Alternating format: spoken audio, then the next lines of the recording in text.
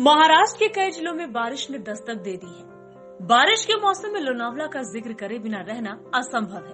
अधिकतर लोग बारिश के मौसम में ही लोनावला घूमने आते हैं, जिससे लोनावला शहर में ट्रैफ़िक जाम की समस्या मानो आम बात हो चुकी हो। लेकिन अब पूरे ग्रामीण पुलिस के लोनावला पुलिस इस ट्रैफ़िक से निजात पाने के लिए एक्शन मोड में आ गई है। लोनावला शहर के उप विभागीय पुलिस अधिकारी सत्य साई कार्तिक ने लोगों से अपील करते हुए कहा कि ओल्ड पुणे मुंबई महामार्ग पर सड़कों पर अवैध ठेले लगाना और सड़कों पर बैनर लगाने पर कार्रवाई की जाएगी। सड़कों पर ट्रैफ़िक जाम हो, ऐसा कोई भी काम करता कोई नज़र आएगा तो उस पर कानूनी कार्रवाई की जाएगी।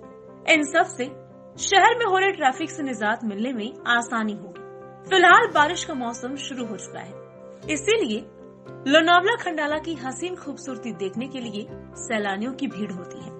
पुणे मुंबई महामार्ग पर ट्रैफ़िक न हो, इसीलिए ये कदम उठाए जा रहे हैं। नमस्कार, ओल्ड पुणे मुंबई हाईवे पे आजकल बारिश के सीज़न के वजह से ट्रैफ़िक की प्रॉब्लम बढ़ गई है।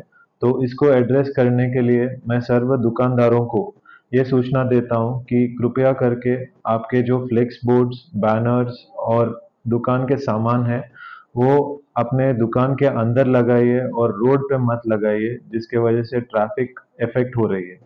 अगर ये कंटिन्यू होता है तो फिर हम लोग महाराष्ट्र पुलिस एक्ट के कलम 102 के अंदर आपको, आपके ऊपर कार्रवाई करने वाले हैं। इसके साथ साथ मैं सर्व हाथ गाड़ी वालों को ये सूचना देता हूँ कि कृपया करके आपके हाथ गाड़ी और सामान रोड के ऊपर मत लगाइए इसके वजह से ट्रैफ़िक इफ़ेक्ट हो रही है। अगर आप नहीं सुनते हैं तो फिर आईपीसी सेक्शन 283 के अंदर हम लोग कार्रवाई करने वाले हैं।